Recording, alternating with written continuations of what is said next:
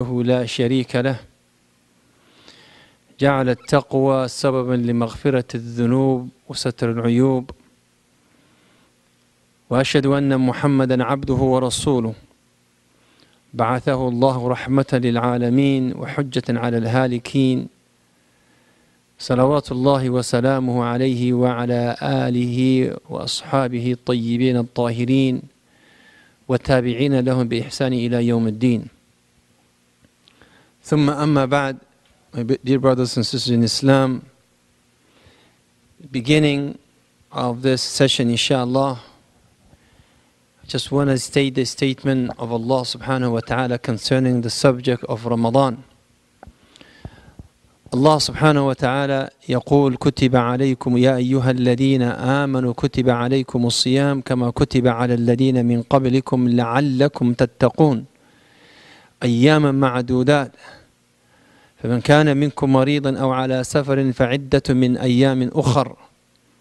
وعلى الذين يطيقونه فدية طعام مسكين.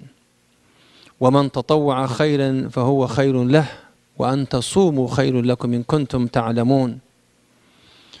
Allah subhanahu wa ta'ala قال شهر رمضان الذي أنزل فيه القرآن هدى للناس وبينات من الهدى والفرقان. فمن شهد منكم الشهر فليصم. ومن كان مريضا أو على سفر فعدة من أيام أخر يريد الله بكم اليسر ولا يريد بكم العسر. ولتكملوا العدة ولتكبروا الله على ما هداكم ولعلكم تشكرون.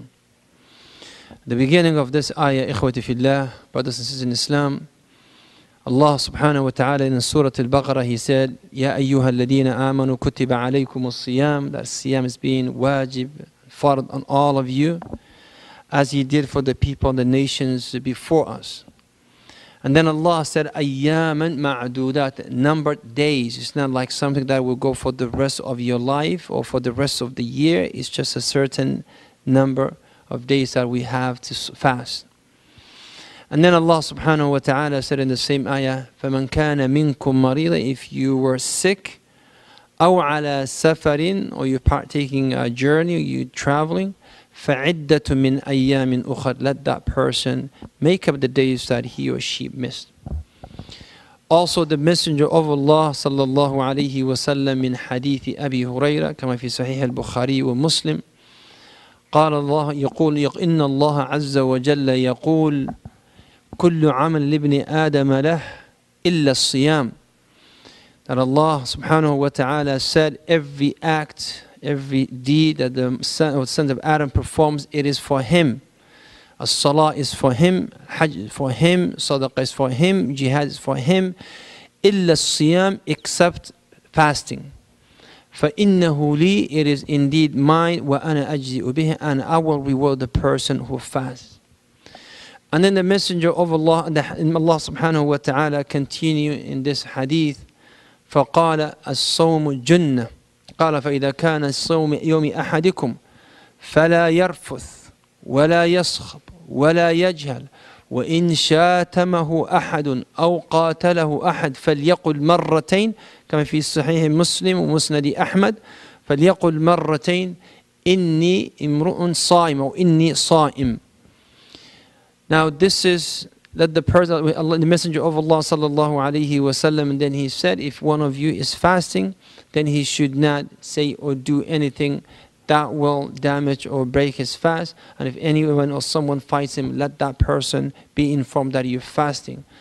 So inshallah, we will answer some the rest of the question inshallah. And I will move the microphone to, give microphone to my brother. Uh, the first question of our this of, of this lecture what is the importance of the suhoor? In Sahih al-Bukhari wa Muslim, the Messenger of Allah sallallahu alayhi wasallam, he said, "Tasahharu فإن في السحور بركة." baraka." He said, "Eat or consume suhoor, or take suhoor. Indeed, there is baraka in suhoor." So, Alhamdulillah, when we were told there's a baraka in something, then when we are told there's a barakah in something that we should try to be part of that or be or engage ourselves in that so if the suhoor is a source of barakah that will bring barakah to us then we must and we should try to have suhoor as much as we can. And the Nabi sallallahu alayhi wa another hadith, قال تسحروا وخالف اليهود. He say, consume your suhoor and be different from the Yahud. So we have to do this inshallah. And as Nabi sallallahu alayhi wasallam encouraged us all. Now. Uh, the second asker, uh, can you brush your teeth with a toothpaste while fasting?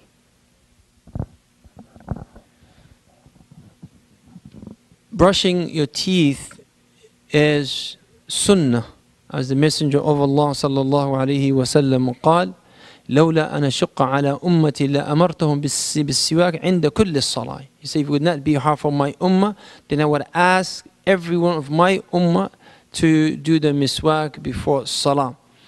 So, and this is, there are four times that a person must do miswak or do the siwak or brush their teeth.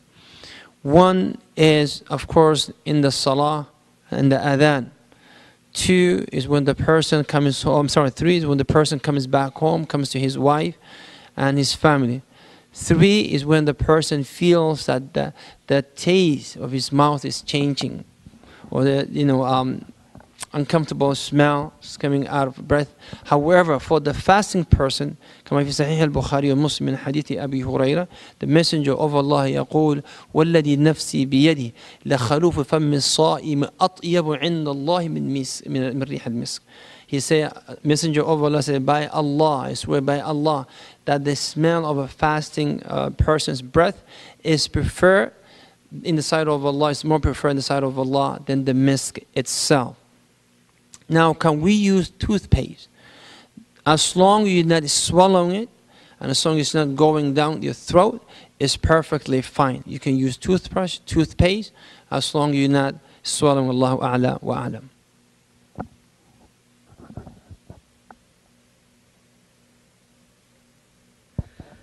What is the recommended for the fasting person?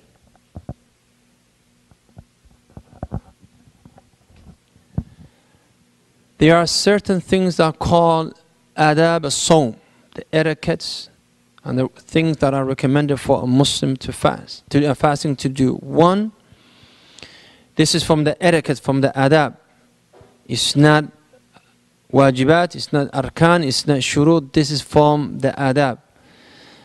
One of the, some of the adab is the person not to talk unnecessarily during the month of Ramadan when the person is fasting, the person has to stay, you know, try to limit what comes out of his mouth, even though what is coming out of his mouth is mubah. Number two, when you're eating, do not eat too much. Do not eat too much or drink too much. Some of the people, mashallah, they eat too much for suhoor, they eat too much for iftar, and when they come for uh, Salat al-Taraweeh, mashallah, tabarakallah, you, you hear them burping and you know burping from all over the place. And the masjid instead is smelling like a misk it smells like you know uh, rice and chicken and meat and all that. So a person should not eat more than he should uh, and try to limit uh, according to the sunnah of Nabi sallallahu alaihi wasallam number three while the person is fasting the person has to keep in mind that he's doing this for Allah subhanahu wa ta'ala and avoid all conflict, insha'Allah. Now, this is some of the recommended acts of fasting for the fasting person. Jazakallah khairan. Uh, what, what is the things which invalidate the fast? Food, drinking, and having relationship with your spouse Food and drinking is the hadith in the Quran and the ayah in the Quran كلوا واشربوا حتى يتبين الخيط الأبيض من الخيط الأسود ثم أتم الصيام إلى الليل ثم أتم الصيام إلى الليل then you continue fasting until night so you're not allowed to eat or drink the other thing that we know from the Sunnah, also from the Quran, that is having a relationship for your wife with your wife. It is not uh, recommend is not allowed in while the person when the person is fasting. Now. Jazakallah khairan, Sheikh. Uh, who are excused from fasting and why? The following people are excused from fasting those who are sick and those who are traveling. And this is in, based in the ayah, based on the ayah. ومن كان منكم مريضا أو على سفر فعدة من أيام أخر. Also, a person under the age of puberty is excused. Uh, a lady who is pregnant or suckling her child, she's excused. These are the one that are excused from fasting. Other than those, uh, they must perform the fast or may observe fasting. Wallahu alam. Jazakallah khairan, Sheikh. Uh, follow up to question number five. How do they make up uh, for their fasting? For those who are, the people are excused are two type. Those are permanently excused and they don't have to make up the days that they missed, such as those who are at old age and they can no longer fast, or those who have permanent illnesses that they cannot be cured from this. Those are not those not out of the group that would have to make up the fast. But for the other people, those who are, have a per, uh, temporary illness or uh, they were traveling or were suckling their children or the women who was pregnant, the way they can make up the fast is for them to find those days as suitable for them to fast. They should not, it is this, nothing saying that it has to be in order. Nothing is saying that you have to fast, you know, consecutive days based on the number of the days that you miss, but based on the availability and the ability that they can, inshallah. Now. Jazakallah khairan. Uh, following up with uh, with fasting six days after Ramadan, does it need to be continuous or can it be uh, separated? The hadith of Nabi sallallahu alayhi wasallam says, "من صام minkum من shay من صام رمضان ثم أتبع ستة من شوال." So he said, whoever fasts Ramadan and then follows it with six days of Shawwal. The hadith did not say six days right after Ramadan or six days that after one another, but it says six days, mutlaq. So any six days the, from the month of Shawwal is acceptable. It could be any days from the month of Shawwal, Allahu Alam. Jazakallah.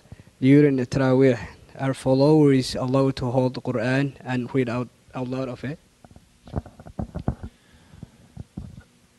Now there's two part, this question has two part. Holding the Mus'haf, which has different hukum, then reciting from the Mus'haf, which has also something that a lot of people do.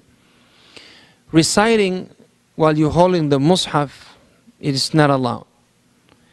It's not allowed based on the hadith of Nabi sallallahu alayhi wasallam. A person should not recite with the Imam while the Imam is reciting Quran. Cannot do that. Now holding the Mus'haf, the ulama they said is permissible. However, you left the Sunnah of Rasulullah sallallahu alayhi wasallam. Because the Sunnah, number one, is to put your hands on your chest. Number two, the Sunnah is not to make too many move, moves. And now when you're holding the Mus'haf, you have to flip the page and one hand is here and the other hand is holding the Mus'haf. And then when you're making ruku', you gotta put the Mus'haf somewhere. And when you're doing sujood, you have to place the Mus'haf elsewhere. So there's a lot of unnecessary movements that you're doing in the Salah. And more movements that you make, less ajr you get. So the sunnah of Nabi sallallahu alaihi wasallam, sunnah of the Sahaba, sunnah of the Khulafa is for them to listen to the Imam. وَإِذَا قُرِئَ الْقُرْآنُ فَاسْتَمِعُوا لَهُ وَأَنصِتُوا When the Quran is recited, pay attention to it and listen to it. He did not say, you know, and, and, and وَانظُرْ إِلَيْهَا or look at it. No. The Sahaba of Nabi sallallahu alayhi wa sallam, Abdullah ibn Mas'ud, he had his own Mus'haf. Uh, in, in Ubay ibn Ka'b, he had Quran. You know, Hafsa, she had her own Mus'haf. You know, none of the Sahaba ever came while Ubay ibn Ka'b was leading the Salah and then said, you know what, you know, I'm going to see if Ubay ibn, you know, Ubay ibn Ka'b make, makes any mistakes. None of them said, said that. So the Sahaba used to listen to the Qari, whatever the Qari is reciting, regardless of um, how long the salah is how short the salah is. So it is not from the sunnah for a person to hold the mushaf. However, if the person doesn't, then your salah is still in salih, your salah is still in valid, and it's not, um, it's good, inshallah. Now, Jazakallah khairan, Sheikh. What is the importance of Laylatul Qadr? the Nabi sallallahu alayhi wasallam mentioned the importance of Laylatul Qadr. In more than a hadith, the Nabi sallallahu alayhi wasallam, he said, قال يعني إن هذا الشهر حضركم in one of the hadith النبي صلى الله عليه وسلم another narration وفيه شهر يو ليلة خير من ألف الشهر ومن حرم حرم خير كله there's a lot of hadith saying that you know there is one unique significant night of this month in this month and whoever so deprived from the khair of that month or from the khair of that night he's indeed de- is deprived from a, lot of khair. Now it's very important for a mu'min because alf shahr 1000 month you know that is over 80 years of your of your, of your of, of, of a lifespan. So most of us we may not live we may not live up to 80 years or close to 80 years so i think we all should utilize that night we all should concentrate in getting that night and not miss it as the Nabi sallallahu alayhi wasallam stated in the Sunnah, it is in the last 10 days of Ramadan. It could be the 21st, 23rd, 25th, 27th, 29th. So we should try uh, our in the ultimate best to make sure that we are part of those nights, inshallah. Now.